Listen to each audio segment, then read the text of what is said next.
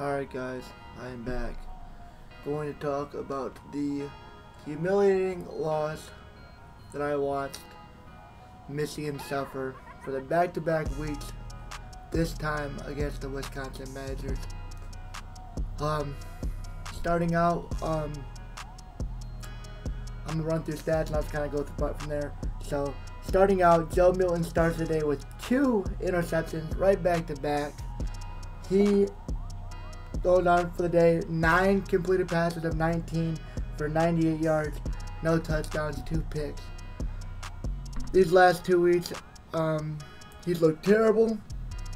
I thought he played good against Minnesota, decent against Michigan State, and then awful back-to-back weeks. Um, just effort is lacking, passion is lacking, effort is lacking. Jim Harbaugh has to be gone. I mean, so week one, I was like, okay, he might be back, you know? Cool, whatever they win, right?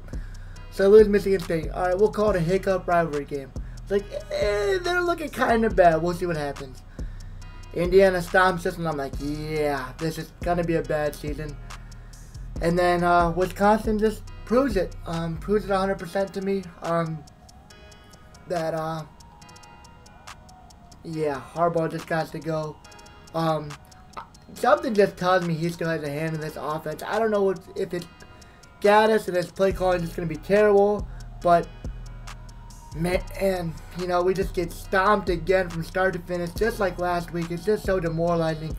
Um, I am have been one of the fans that really, rarely ever turn off a game early. I never do it.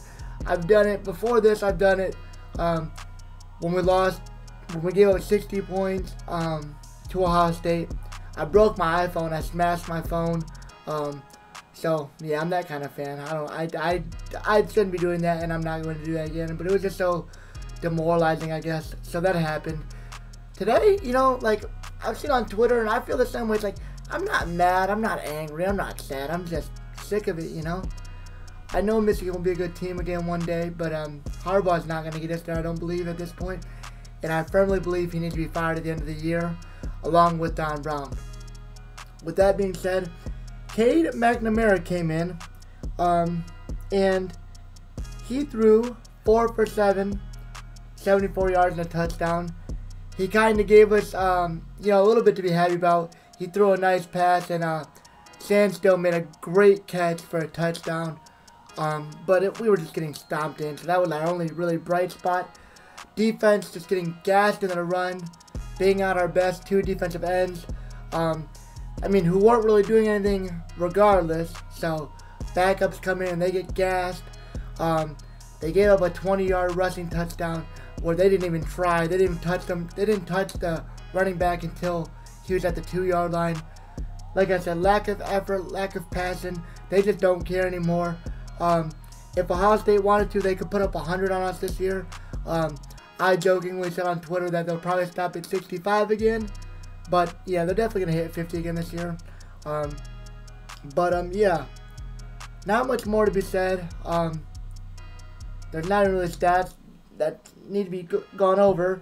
I will say that we had, uh, what's that, 20 and 15 is 35, 36, 42. We had 43 rushing yards this game terrible. Ronnie Bell looked good on one drive when he came out of the second half trying to come back. He had some couple a couple nice catches, but uh, all in all, just a garbage game. Team wasn't ready to play. They get stomped. Glad we weren't at, we weren't at the game because the entire stadium would have been booing by halftime, and uh, Michigan gets stomped again.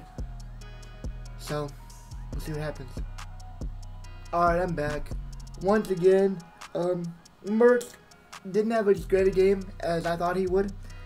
I, because we were making every quarterback look like a Heisman candidate, but uh, he went 12 for 22, 127, two touchdowns.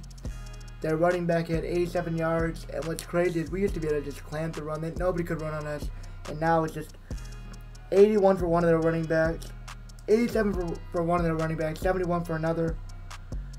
I think the receivers had two receivers had 65 yards. Oh my god, I want to cry.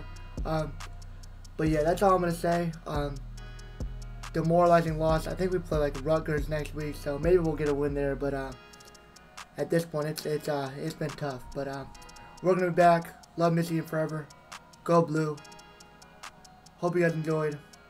Pain season continues. I'll see you on the next one. Peace.